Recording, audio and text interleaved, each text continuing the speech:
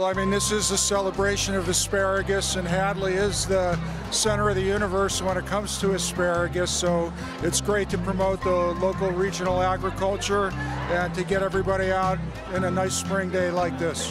I can't tell you that Hadley asparagus, Hadley grass, is known throughout the country as some of the best on the planet. It's essentially the asparagus capital of the Northeast, at least.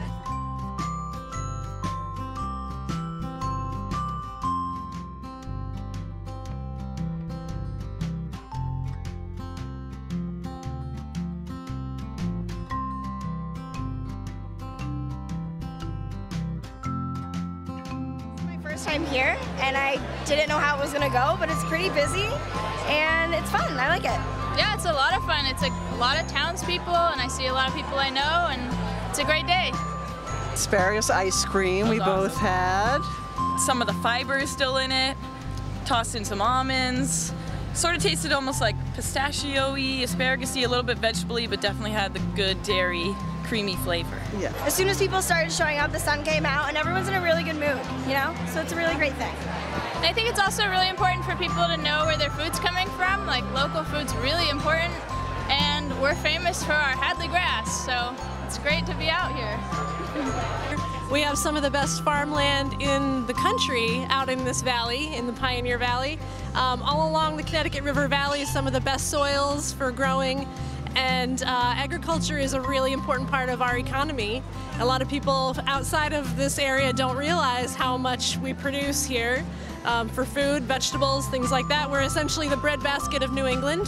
I think that it's uh, incredibly important for people to have the opportunity to see kind of the small local businesses and the small farms in the area and have the opportunity to meet the people who are running those businesses and have that opportunity to come out and support them and get behind small businesses and small farms. Well, we started out to be Western Mass's local beer 21 years ago, and organically it's slowly morphed that we're a New England regional brewery, so we are in all six New England states now, but we love our backyard. I mean, that's where we came from, and we're not going to forget where we came from. I'm here with CISA. Uh, we're an organization that helps coordinate between farmers that are growing food in the Pioneer Valley and people that are buying food in the Pioneer Valley, like consumers, retailers, restaurants. Uh, so we like to come to this stuff not only to kind of get our name out there and be talking with people about what they're looking for uh, in terms of local agriculture, but also um, to really kind of get a sense for like what's going on in communities and make sure that we stay like a community presence. The asparagus soup, the chilled asparagus soup Delicious. with pumpkin seeds and goat cheese in it dynamite. But yeah, everything's local here too, you know, so it's all about local economies and local breweries, so we, we're happy to be part of the, the community here, using the best water in America from Easthampton, and uh, lots of local ingredients in the beers, so, you know, it's, uh, it's all good. It's been a great day. By buying from a local farmer, you're not just supporting that farmer, but you're supporting the community that you live and work in, the place where your kids go to school and where you own your home. I think in terms of just social awareness, I see a lot of children around. Some of the gift prizes were geared towards the younger crowd. I think it's really important to get this mindset started early, you know, about community growth, local farming, and things like that.